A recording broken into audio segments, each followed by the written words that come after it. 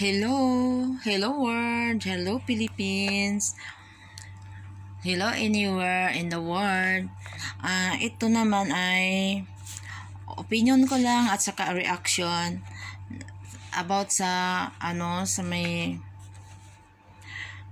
may isa namang OFW na tumalon sa walong palapag ng building dito sa Kuwait na ang issue dito ay about sa kanyang problema na naghalo-halo na ang mga problema sa buhay niya na hindi niya kinayanan isipin. Naging nahulog ito sa depression. Kasi tatlong buwan na pala siyang walang sahod at dagdagan pa naging nahawaan siya ng COVID.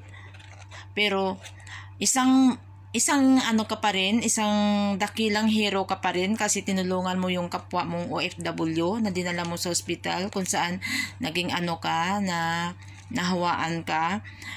And, hindi ka rin mawala sa ano namin sa may sa alaala dahil isa kang ano dakilang OFW na kahit na nasa peligro ang buhay mo, tinulungan mo pa rin ang isang kapwa mong OFW. Sana hindi mo kinitil yung buhay mo dahil lang sa COVID, marami namang na-survive. Hindi naman kung mo na, naging positive ang isang tao ay mamatay na. Sana hindi hindi mo kinitil ang buhay mo. Pero tapos na 'yon. Sana mapatawad ka ng Panginoon na pagdating ng judgment, maging makasurvive ka sa kanyang ano, at ipagdasal ka lang namin ng iyong kaluluwa kay para hindi ka mahulog sa ano. Kay, siyempre, sana mapatawad ka dahil sa depression hindi mo mamakaya yon Ang payo ko lang sa mga OFW dito sa Kuwait, kung anong problema, dapat i-share nyo sa kapwa nyong kaibigan o sino mga kaibigan ninyo. Kasi kung hindi nyo ito ma-share at walang magbigay payo sa inyo, talagang depressed ang maibigay sa inyo. Kaya huwag kayong mahiya na i- ipag-share ang mga problema sa kapwa OFW para marong gabay sa inyo at hindi nyo maisip na magpakamatay tulad ni Elmer Chin Biag. Ayan, kasi hindi siya nag uh, hindi niya na-share ang kanyang problema sa mga kaibigan niya, sinulo niya. Yan ang ano, yan ang diferensya sa mga hindi marunong mag-share ng mga problema. Kaya sinulo niya, hindi niya alam anong dapat niya gagawin.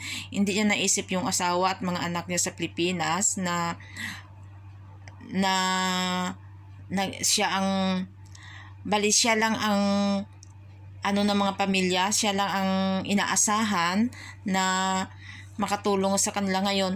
Ano na lang ang mga kanyang anak at asawa at wala na siya, hindi niya naisip yun. Kag isa pa, tatlong buwan wala siyang sahod dahil sa ano sa lockdown siguro ang company baka hindi na sila sinahuran kasi siyempre hindi na sila nagtrabaho. Ayan. Kaya nga, shout out ako sa government natin. Ayan. Na dapat, kung anong tulong na makaya nyong itulong sa ano sa mga OFW, tulungan na ninyo. Huwag na kayo mag ano, huwag na kayo maghanap pa ng maraming papel tulungan na ninyo kung mayroon namang uy, ang ayuda nga galing sa gobyerno, ibigay na ninyo, wag nyo nang hintayin pa nga mag-depress ang mga OFW dahil sa problema, ayan, nakita na ninyo, walang sahod, walang sahod sa tatlong buwan. Bakit? Bakit nakaisip siya ikitil ang kanyang sarili? Kung kinulungan ninyo siya, siguro baka hindi niya pa niya naisip na magpakamatay kasi may ayuda galing sa government. Siguro halo-halo na ang problema niya. Wala na siya sugo pambili ng ano sa sarili niya. Tapos naging positive siya, baka isip niya, baka hindi din siya eh, ano ng hospital kasi wala siya pambayad, kasi wala siyang sahod. So, yun na ang kanyang solution. Sana naman nagpunta na lang siya sa hospital kahit wala siyang pera, kay bak baka mahiringan din ng embassy, matulungan din siya. Baka hindi naman siya nagpunta ng embassy natin, kaya hindi rin alam ng embassy ko anong sitwasyon niya. So, kaya hindi natin alam anong buong kwento dito. Pero ang akin lang doon sa embassy kahit na ano kasi siyempre maraming nagde-demand na mga ano mga OFW na hindi sila makakuha ng ayuda kasi maraming papel ang hinihingi ninyo. So dapat naman hindi naman loan ang ina-applyan eh, 'di ba? Hindi na kailangan ng daming papel kasi hindi naman loan. Ayuda 'yun eh. Dapat ang i-ano na lang ninyo, ang requirements na lang, passport na lang o civil ID na lang na napakilala nga sila ay mga Pilipino. And then, papirmahin sa butcher at saka sa logbook na nakareceive sila ng pera na galing sa gobyerno. 'Di ba? 'Yun ang dapat ang gagawin ng gobyerno. Huwag niyo yung hanapan pa ng maraming papel. Ngayon, hintayin niyo pa ba marami pang magpakamatay dito sa Kuwait? dahil wala silang sahod, walang pera, tapos umaasa ang mga pamilya sa Pilipinas. Wake up, wake up naman ang taga-gobyerno. Mag-isip-isip naman kayo. At ang sa Pilipinas, ha, basta ang alam namin, ha, pag alam ninyo na ang pamilya abroad, hindi nyo bigyan ng ano, ayuda.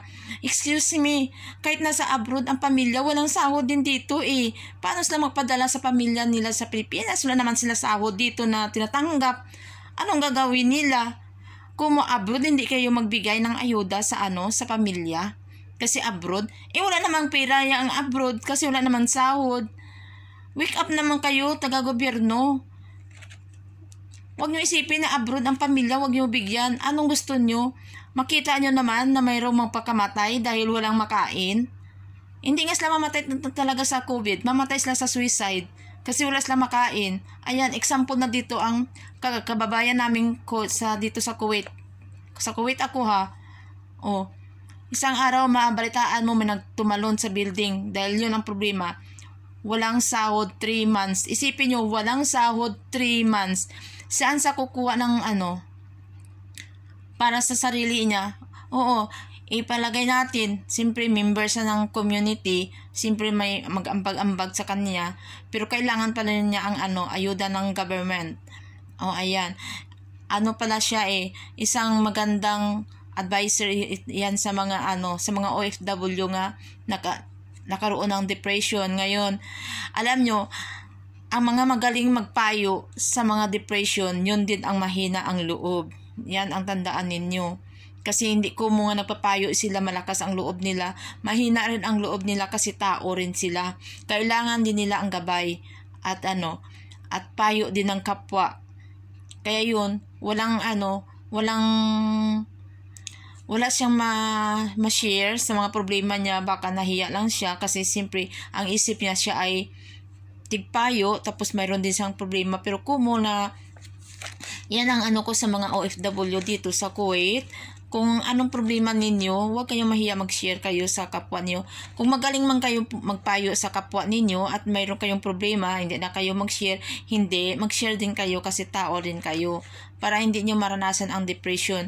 Kasi dito sa Kuwait, homesick ang kalaban namin dito, homesick. Lalo pa wala kaming sahod Di, siyempre makapag-isip na kami ng hindi maganda sa sarili namin. Okay lang kami mga kadama dito at ito hindi namin ikahiya, ang kadama kami dito. Okay lang kami dito kasi may sahod pa rin kami at makakain pa rin kami. Pero hindi lang kami kapadala sa Pilipinas kasi total lockdown kami dito. Pero malapit naman tapos ang lockdown dito. hindi ang lockdown na, ang total lockdown lang. Kasi ano, hanggang May 30 lang. Pero ang ano ko lang sa government natin, silipin nyo naman ang mga OFW na kung magpunta dyan sa inyo na humingi ng tulong, tulungan naman lang ninyo. Huwag na kayo humingi ng papel at ipabalik-balik pa, kulang ang papel, hindi nyo i-release isipin nyo wala na nga silang pamasahe papunta dyan. Tapos pabalik-balikon, papalik-balikon pa ninyo dyan papunta sa embassy. Wala na nga pamasahe. Alam nyo, mga, ano, mga OFW na sa labas ng trabaho, nahirapan na ba sila? Kasi hindi sila makakuha ng ano, ng ayuda. Ayan. Alam namin yan kasi may mga kilala kami mga OFW na trabaho sa labas na nagreklamo. Hindi sila makakuha ng ayuda kasi maraming papel ang hinahanap. So, wake up kayo mga taga-gobyerno. Huwag na ninyo dagdagan pa may, mag, may, may mag-suicide pa sunod. Kahit hindi ayuda ang problema niya kasi ang problema niya walang sahod eh. Walang sahod. O, bakit hindi nyo binigyan ang mga tao dyan sa mga sa labas. Para hindi sila mag-isip sa mga malaking problema. Ayan, ayan naka-COVID siya, naka-positive siya sa ano. Yan ang ano niya. So, iniisip niya, kitilin na ang buhay niya kasi akala niya hindi na siya makasurvive at baka wala siyang makakayahan. Ang isip niya siguro, malaki ang gasto sa pagpa-hospital na wala sa pambayad pero mali naman ang pag-iisip niya. Sana nagpunta na lang sa hospital at tumingin ng tulong sa embassy. Kaya yun. Kasi siguro ang embassy naman hindi naman magpabaya kapag nasa hospital ka na.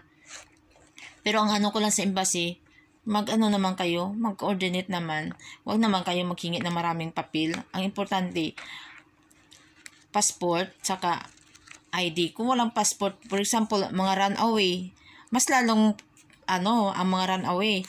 Kasi siyempre wala silang passport yan, mas lalo yung tulungan. Kaya kasi, Pilipino na rin din yan sila eh. Alamin na lang niyo nga, Pilipino, pag Pilipino, tutulungan yun. Hindi naman loan ang kinukuha namin eh. Kami dito mga kadama, okay lang. Hindi na kami nag-claim ng ayuda. Kasi, mabubuhay kami dito. Rest in peace na lang sa ano, sa kay ano, Elmer Chin Biag. Then, condolence na sa family. Sana makasurvive kayo at natulungan kayo ng government dyan sa Pinas dahil sa nangyari. Yan. Diyan na lang kayo diyan na lang kayo magaling ang taga-gobyerno, tutulong kayo pagpatay ng tao. Ano ano na lang ang pulos ng sa tulong ninyo kasi patay na ang tao. Dapat buhay pa ang tao, tulungan na ninyo. Huwag nyo hintayin na mampatay pa ang isang OFW saka kayo bumigay ng tulong. Yan lang ang comment ko at saka opinion ko at reaction about sa government at sa kapwa nating OFW. Sana magbigay lesson ito sa mga OFW na sinong may mga problema dyan, huwag nyong kitilin ang buhay ninyo. Ang solusyon, dasal. Magdasal tayo sa Panginoon Diyos at para magabayan tayo. Tested and proven yan pag maglapit kayo sa Panginoon Diyos, hindi niyo maisip na magpakamatay. Kasi tutulungan kayo ng Panginoon Diyos. May may taong maibigay sa inyo para makatulong sa inyo. Huwag ang pagkitil ng buhay. Kasi ang Diyos lang ang may karapatang kukunin ang buhay natin kay siya ang nagbigay ng buhay natin. Pero hindi tayo mag-judge kay Elmer nga hindi na sa patawarin ng Panginoon Diyos. Ang Panginoon Diyos ay mapatawad yan Ta- lahat tayo magdasal para mapatawad ang kanyang kaluluwa. Huwag kayo mag-comment na hindi na siyang patawad. Kasi nabasahan ko eh, na nag-judge na kayo na hindi siya mapatawad dahil kinitil ang kanyang buhay. Magdasal tayo para sa kaluluwa niya. Ang mga pamilya magdasal para sa kaluluwa niya para maligtas ang kanyang kaluluwa. Kasi hindi tayo mag-judge, kasi hindi tayo Diyos. Yun lang ang ano ko sa inyo. Kaya, ang ano ko lang sa mga OFW, kung anong mga problema ninyo, hindi solusyon ang magpakamatay, kundi ang solusyon magdasal. Take note, hindi magbigay ang Panginoon Diyos ng malaking problema pag hindi nyo kaya. Yun ang ilagay sa isip nyo. Yan ay trials ng Panginoon Diyos kung hanggang kailan, hanggang saan ang inyong paniniwala at ang inyong pag pagkilala sa Kanya ang pagbigay ng problema. Pag yan ay lumapit kayo, yan ay mas solve. Yan lang ang ibigay ko nga ano, payo sa inyo. Kaya, bye guys!